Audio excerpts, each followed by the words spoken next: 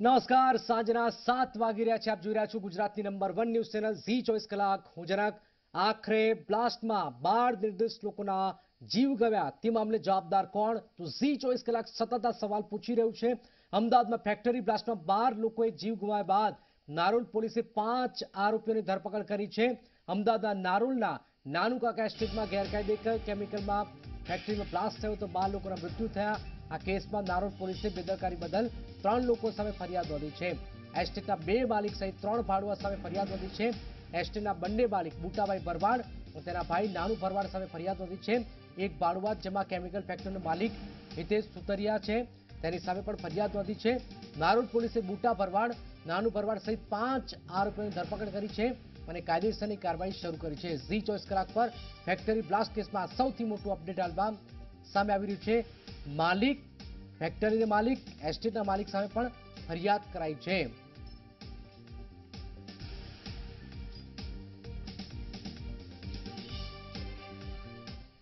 નારોલના એસ્ટેટની અંદર પહેલા blast blast બાદ આગ. અને આગના કારણે બાર લોકોના જીવ હોમાયા. તેને લઈને તે સેક્ટર ટુ પોલીસ કમિશનર જે છે જેસીપી ગૌતમ પરમારે સુપરવિઝન આખું કર્યું અને ત્યારબાદ એક ફરિયાદ દાખલ કરવામાં આવી બેદરકારો સામે. ફરિયાદ કોની કોની સામે છે? શું શું ફરિયાદ છે? એ અંગે આપણે વાત કરીશું. જે additional police commissioner Gautam Parmar છે. આ અગાઉ પણ એમણે ઘણા એવા ગુના જે છે રાજ્યના ઉકેલા છે અને ઉમદા કામગીરી લઈને ઓળખાઈ પણ આવે છે. સાહેબ, આ ખાસ કરીને એક ફરિયાદ નોંધાય. શું ફરિયાદ નોંધાય છે? કોના પર ફરિયાદ નોંધાય? શું છે આખી સમગ્ર માહિતી? ગઈકાલે જે પીપળજ ખાતે જે બ્લાસ્ટ થયો છે બાર વ્યક્તિઓના મૃત્યુ નિપજ્યા છે, એ બાબતે નારોલ પોલીસ સ્ટેશનમાં હાલ ત્રણ વ્યક્તિઓ વિરુદ્ધ ફરિયાદ નોંધાઈ છે, જેમાં ફેક્ટરીના માલિક હિતલભાઈ સુતરિયા અને એસ્ટેટ જેમણે બનાવ્યું, એ બે વ્યક્તિઓ, નાનુભાઈ ભરવાડ અને બુટાભાઈ ભરવાડની વિરુદ્ધમાં અત્યારે ત્રણસો ચાર, ત્રણસો આઠ, બસો ચોર્યાસી, બસો પંચ્યાસી તથા અન્ય આઈપીસીની કલમો હેઠળ ગુનો દાખલ કરવામાં આવ્યો છે. ખાસ કરીને વાત કરવામાં તો બેદરકારી શું શું જણાય એવી છે પોલીસની તપાસમાં અત્યાર સુધીમાં? બેદરકારી એ રીતે કે જે જગ્યાએ ફેક્ટરી હોવી જોઈએ જગ્યાએ ફેક્ટરી હતી નહીં. આગ આગજની થાય તો એના બચાવ માટેના કોઈ સાધનો ફાયર સેફ્ટીના કોઈ સાધનો હતા નહીં. બાકીની પરમિશનો પણ એમણે લીધી નથી અને અચાનક જ એ લોકોએ ઊભી કરી દીધી હતી ફેક્ટરી કે જેની પાસે કોઈ કાયદેસરના લાયસન્સ નહોતા.